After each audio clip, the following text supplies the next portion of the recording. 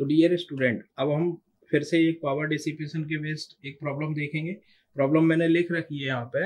A silicon transistor dissipates 2 watt during working if maximum junction temperature is 150 degree centigrade तो आपको दिया है, सबसे पहले हम क्या करें? जो गिवन है, वो क्वांटिटी लिख लें।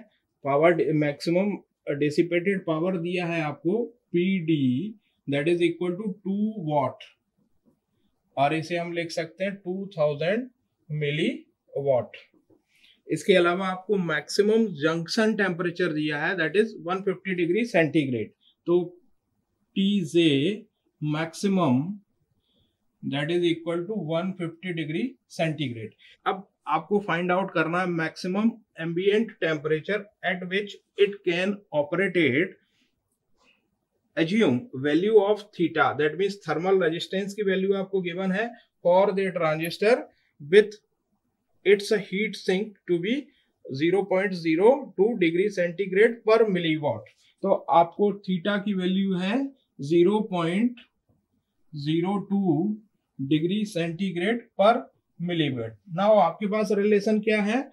P D total that is equal to T J maximum minus T A divided by theta now we can substitute this value P आपको दिया है यहाँ पर 2000 milliwatt T J maximum is given 150 degree centigrade T A that we have to find out है ना? T A ambient temperature we have to find out T A is we have to find out और theta की value आपको given है 0.02 degree centigrade per milliwatt then 2000 is equal to T J maximum की value हम substitute कर देते हैं 150 minus T A divided by theta की वैल्यू 0.02 मिलीवॉट है ना? अब टी ए के लिए इसको सॉल्व करते हैं, तब आपको टी एम्बियंट मैक्सिमम के टर्म में ये कैलकुलेट करके आएगा।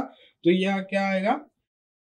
इसको मल्टीप्लाई किया तो मल्टीप्लाई करने के बाद ये सॉल्व करेंगे, इसको इधर ले जाएँगे, इसको सॉल्व करके यहाँ पर लेके आएँगे that means 150 fifty minus two thousand into zero point zero two और जब इसको सॉल्व करेंगे तो आपके पास वैल्यू आएगी T J T A that is equal to 110 degree centigrade तो ये फ़र्स्ट पार्ट हो गया इस क्वेश्चन का। सेकंड पार्ट के लिए हम सॉल्व करते हैं। सेकंड पार्ट में क्या है? आपको ट्रांजिस्टर चेंज करना है और ट्रांजिस्टर चेंज करने के साथ साथ टी से मैक्सिमम की वैल्यू 90 डिग्री चेंज करना है आपको। डीजे मैक्सिमम की वैल्यू 90 डिग्री हो जाएगी। जर्मेनियम ट्रांजिस्टर लेना है। तो सेकंड केस में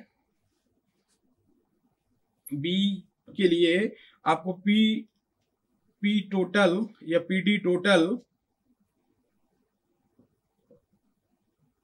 equal to 200 2000 watt and uh, theta equal to 0 0.02 milli uh, say a degree centigrade per milliwatt and tj maximum equal to 90 degree centigrade तो इस फॉर्मूले में हम सब्सिट्यूट कर देते हैं वापस से 2000 is equal to 90 minus T A divided by 0.02 तो टी ए के लिए फिर से हमने सॉल्व किया। That is 90 minus two thousand into zero point zero two ये जब कैलकुलेट करेंगे तो वैल्यू देगा मुझे 40 that means 90 minus forty then T A equal to fifty degree centigrade तो इस तरह से हम प्रॉब्लम सॉल्व कर सकते हैं बहुत आसानी से। जब हमें पावर डिसिपेशन की प्रॉब्लम आती है तो आपको फॉर्मूला याद रखना है कि P D equal to T J minus T A divided by Q और क्यू थर्मल रेजिस्टेंस है टी जे यहाँ पे जंक्शन जंक्शन टेम्परेचर है टी ए एम्बियंट टेम्परेचर है और पावर डिसिपेशन पीडी से रिप्रेजेंट करते हैं। तो कोई भी ट्रांजिस्टर जब आपको दिया जाता है, तब आपको ट्रांजिस्टर की ये पैरामीटर्स मालूम हो तो एक पैरामीटर से दूसरे पैरामीटर के लिए हम इजीली सॉल्व कर सकते हैं। तो इस प्रॉब्लम में हमने क्या देखा कि पहले आपको पीडी गिवन था टीजे मैक्सिमम गिवन था और थर्मल रेजिस्टेंस गिवन था। पर्टिकुलर ट्रांजिस्टर का सिलिकॉन ट्रांजिस्टर का, उसको हमने एम्बियन टेम्परेचर कैलकुलेट किया। सिमिलरली जब हमने ये ट्रांजिस्टर चेंज कर दिया तो ट्रांजिस्टर चेंज करने में टी जे मैक्सिमम चेंज हुआ वहाँ पे। जर्मेनियम ट्रांजिस्टर लिया और जर्मेनियम ट्रांजिस्टर के लिए टी जे मैक्सिमम चेंज हुआ। उसके लिए फिर से हमने एम्बियन टेम्परेचर को कैलकुलेट किया, जो कि 50 डिग्री सेंटीग्रेड आया। तो इस तरह से हमने प्रॉब्लम्स देखी। Thank you